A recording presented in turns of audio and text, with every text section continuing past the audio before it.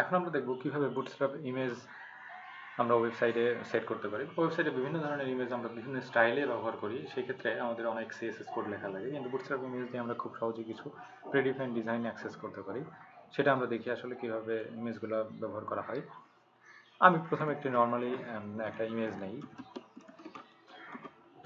Source আমার image এখানে save করা আছে ডেমো ডট জেপিজি নামে ওকে তো ইমেজটা যদি আমি এমনিতে দেখি দেখতে পাচ্ছি যে এরকম একটা ইমেজ আমার দেখাচ্ছে এত বড় ইমেজ তাতে বড় ইমেজ হলে কিন্তু ডিজাইনটা দেখা আমাদের জন্য একটু কষ্ট, এই জন্য এর একটু একটা হাইট উইথ দিয়ে দিই।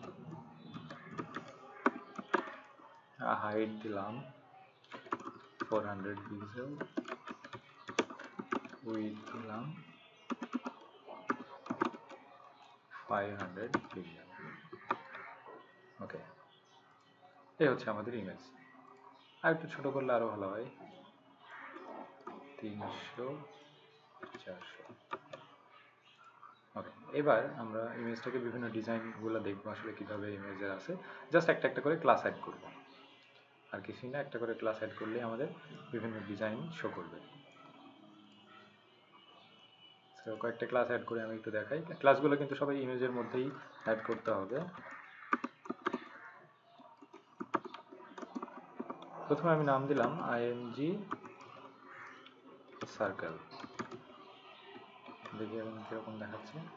এই যে ইমেজটা কিন্তু সার্কেল হয়ে গেছে। তো আমি আর আরেকটা ক্লাসের নাম দেই।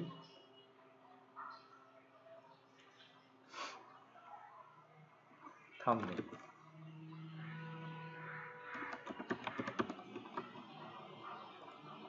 এখন কিন্তু এটা থামনেল আকারে দেখাচ্ছে। যে পাশে একটা করে চিকন বর্ডার কিন্তু চলে এসেছে অটোমেটিক্যালি থামনেলের মতো করে। আরও আছে, যদি দেই রাউন্ডেড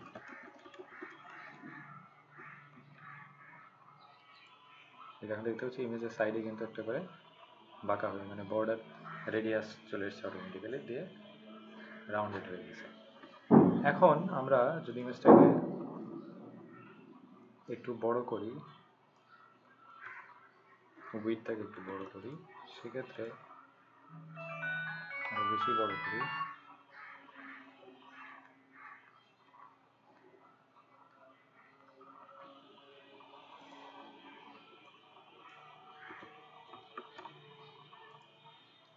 এবং পেজটাকে ছোট করি, সেক্ষেত্রে দেখতে পাচ্ছি এটা কিন্তু রেসপন্সিভ না। রেসপন্সিভ করতে হলে কিন্তু আমাদের অনেক কোড লিখতে হয়। এক্ষেত্রে আমি যদি শুধুমাত্র এই জায়গায় একটা extra class IMG responsive add করে দেই, তাহলে কিন্তু ইমেজটা রেসপন্সিভ হয়ে যাবে।